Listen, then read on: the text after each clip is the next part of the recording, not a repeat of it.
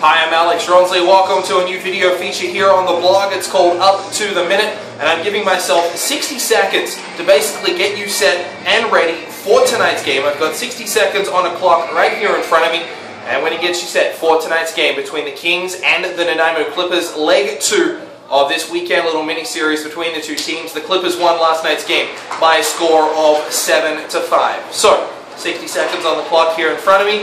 We will get that going now. And the story from last night, one of the stories from last night was goaltending, and we will see a little bit of a change. The Kings go straight back to Jonah Imoo. He had a tough game last night, and he'll be the first one to admit that, and he'll get his chance for redemption here this evening, scheduled to get the start against the Clippers. The Clippers, on the other hand, will make a change and go with Jared Schermerhorn between the pipes in relief of Jason Agu, who stopped 36 of 41 last night to pick up his 11th victory on the year. The silver lining, the Kings scoring five goals, something which they've done four times before this season. They also scored six goals against the Victoria Grizzlies. They'd won all the previous times they'd done that this year.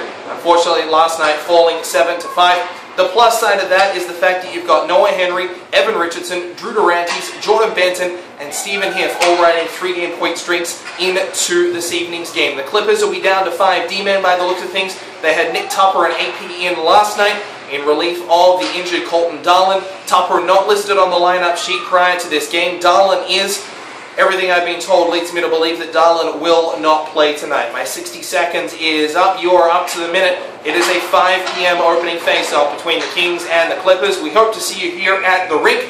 If not, our coverage of tonight's game begins on Sun FM and Fast Hockey pay-per-view with Andy Welsh and myself beginning at 440.